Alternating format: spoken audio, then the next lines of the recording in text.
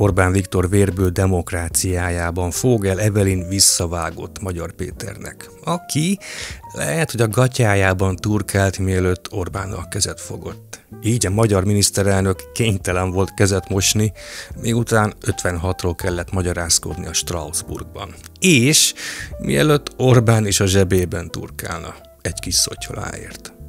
Ez a brigádnapló. Én Csillag Dávid vagyok, tartsatok velem!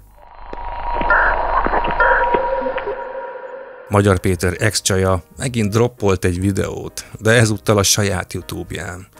Ebben a rövid bejelentkezésben elmondta, hogy később még elmond majd egyet. Most viszont csak annyi történt, hogy alátámasztotta Magyar Pétert. Mármint alátámasztotta, amit Magyar is mondott már, hogy Evelint fideszes kémnek tekintik. És emiatt a kémkedési vád miatt megpróbálták rákényszeríteni Evelint, hogy adja át a nála lévő anyagokat. Az ex csaj szavaiból nekem az jött le, hogy a fideszes kémkedést Evelyn nem ismeri be. Igaz, nem is tagadta ezt kategórikusan. Csak annyit mondott, hogy Radnai Márk és Magyar Péter fantazmagóriákat adtak elő. Ezen kívül egyéb újdonságot Evelyn most nem mondott. Inkább arra utalt, hogy magyar alkalmatlan lenne országot vezetni. És ezt abból gondolja, hogy vele Magyar Péter úgy bánt, ahogy. Ugyan a videóban ez így nincs kimondva, csak lebegtetve, de a fő mondani valója mégiscsak az, hogy magyarnál még Orbán is jobb. Vagy másképp fogalmazva, magyar viselkedése annyira ijesztő neki, hogy akkor inkább maradjon Orbán. Különösen furcsa ez a sugallat egy olyan videóban, ami néhány mondattal arrébb azt ecseteli, hogy Evelyn a Tiszás közösség egyik alapítója, és hogy Evelyn belül a lelkében mekkora rendszerváltó. De ha tényleg rendszerváltó, és nem csak egy beépített kém, akkor most hadd kérdezzem meg, Fogel Evelyn hol a fenébe volt eddig? Hol a fenébe volt az elmúlt 14 évben? Mert hogy Magyar Péter hol volt, azt tudjuk. Persze az is sejthető, hogy hol volt Evelyn.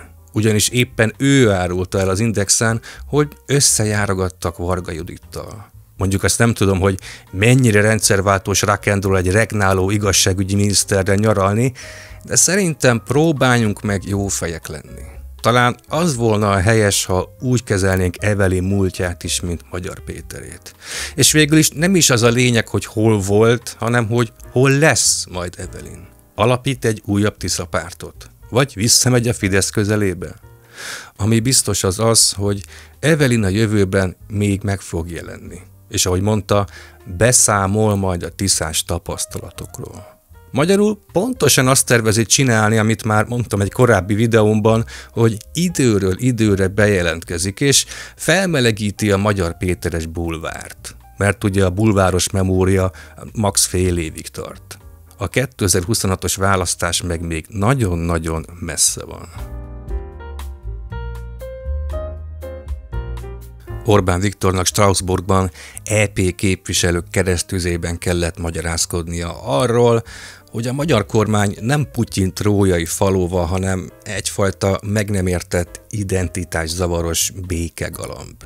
Identitászavaros, mert Magyarország kormánya az 56-os eseményeket nem tudja összeegyeztetni a jelenkorral például az orosz-ukrán háborúval, ami egyébként egy kiemelt téma az Unióban. Így Orbán Viktor, Magyarország miniszterelnöke arra utasította a nyugati szövetségeseinket a minap Strasbourgban, hogy 56-ról inkább ne beszéljenek, ne emlegessék.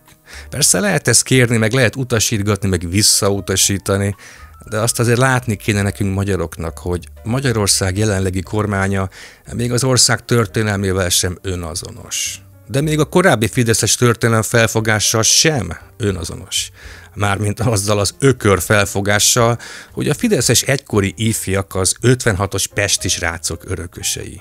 Ha ugyanis volna itt bármilyen önazonosságuk az országok történelme felé, akkor 56-ról ma, itt Ukrajna szomszédságában, kormányunk emberei kihúzott háttal, egyenes gerincsel és nyílt tekintettel tudnának beszélni nem csak a mismásolás menne, meg a cipőorrok nézegetése, meg a béna magyarázkodás Orbán Balázs miatt.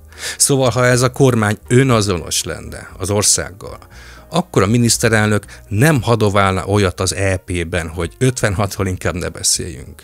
De tulajdonképpen az, hogy Orbán Viktor mit utasít vissza, vagy mit kér ki magának, és hogy hányszor óbégatja, hogy több tisztelet a magyaroknak, az tök mindegy.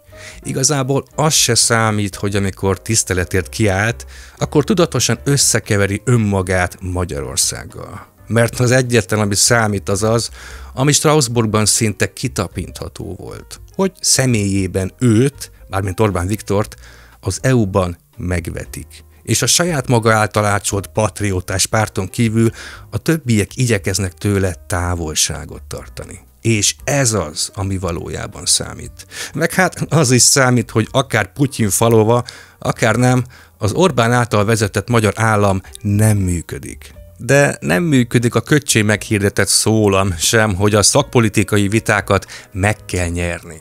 Ha csak nem vesszük szakpolitikának azt, hogy a közlekedési miniszter azt mondja Vitézi Dávidra, hogy Magyar Péter segítnyaló aberrált belvárosi lipsi gyerek. Azt se nevezném szakpolitikának, amikor Borbély László, Fideszes parlamenti képviselő, kiírja a Facebookjára hatházinak, hogy szégyed magad, te szaralak. Ezek ugyanis, mármint az aberrált lipsizés és a szaralakozás, inkább annak a jelei, hogy a közbeszéd és talán a közgondolkodás is elkezdett fasizálódni egyfajta értelen erőszakká átcsapni, ami az ellenfél dehumanizálásáról szól. A kérdés csak az, hogy a saját tábor ezt hogy veszi? Vajon ezt az erőszakot ők is átveszik? Ne feledd, ez az a kormány, aki szüntelen veri az asztalt, hogy több tiszteletet a magyaroknak. Na de mire? Erre?